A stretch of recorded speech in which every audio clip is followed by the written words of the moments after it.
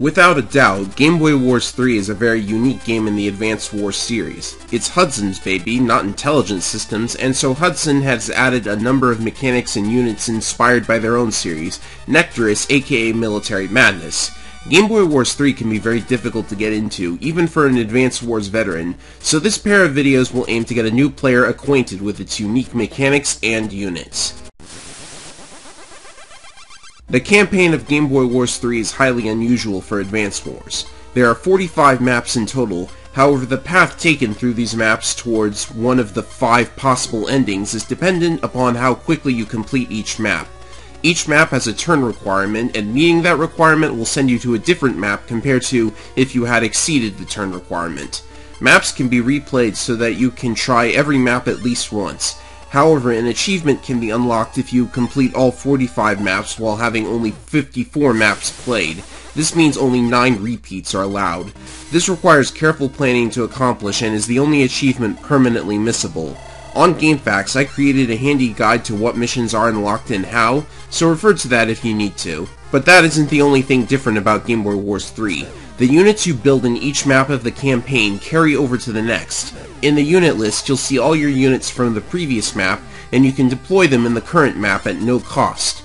Because of that, the way to play this game is to build units with more long-term benefits and keep them alive as much as possible, especially because units also gain experience and level up, like in Super Famicom Wars and the Fire Emblem franchise.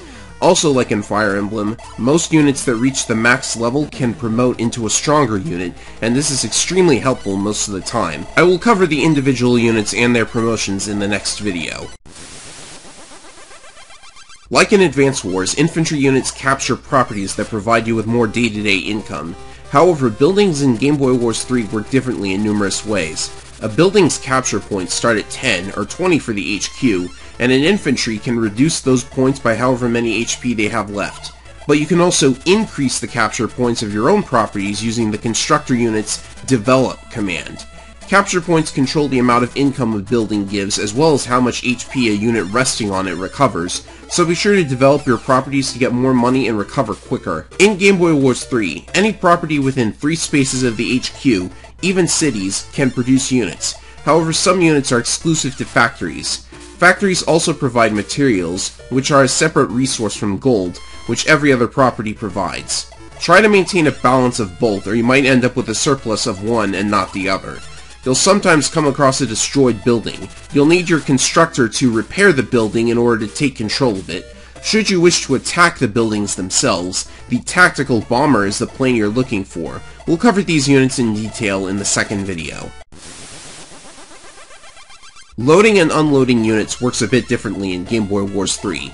A unit cannot unload in the same turn it loaded, however when it does unload, it can take a full turn like any other unit, meaning an infantry can capture something as soon as it gets off the APC or even fire at something if you like.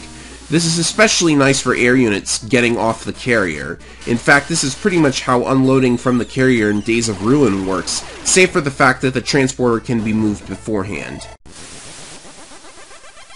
The APC cannot refuel any unit in Game Boy Wars 3. In fact, it doesn't refuel anything at all. That's the job of the supply truck.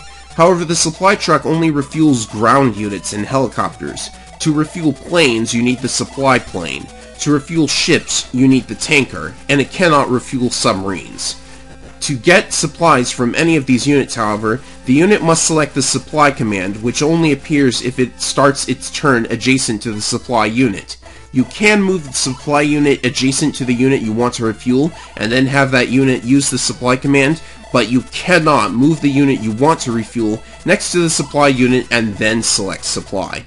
Also take note that supply units have a limit on how many times they can refuel something before they have to go back to a factory to restock their own supplies.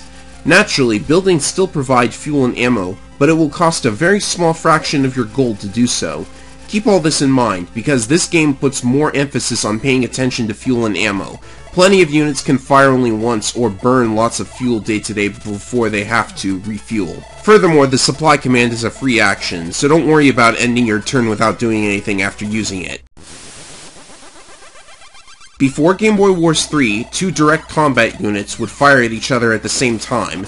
After Game Boy Wars 3, the current turn player attacks first. Game Boy Wars 3 itself implemented the initiative system. Each unit has an initiative score that controls whether they fire before their opponent in direct combat, but that's not all. Movement causes the score to decrease for the turn, meaning that if you move a large distance and fire in the same turn, it's possible for the target to fire on you first.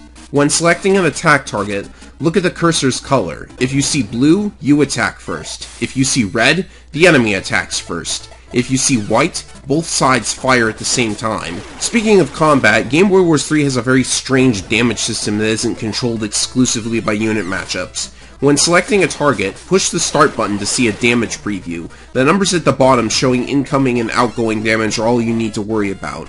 A unit's HP actually represents how many tenths of health they have left.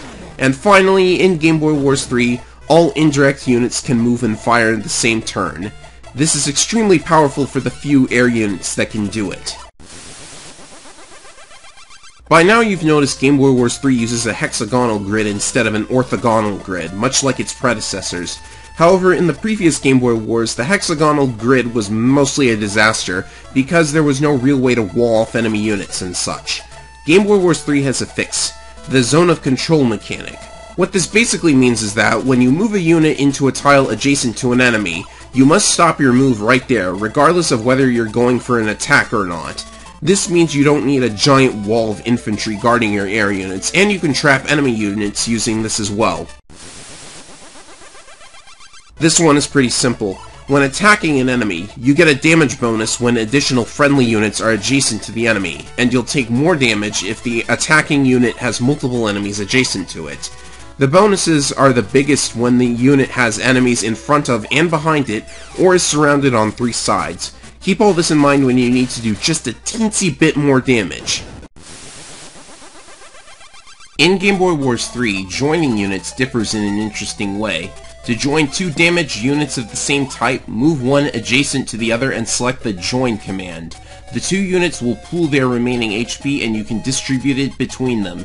It's a weird way of doing it, but this has its advantages in a few niche situations. Though it can be difficult to get used to playing such an unusual entry in the Advance Wars series, I think you'll find that Game Boy Wars 3 can be very rewarding to master.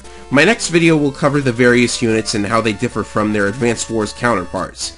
Believe me, there's quite a number of them.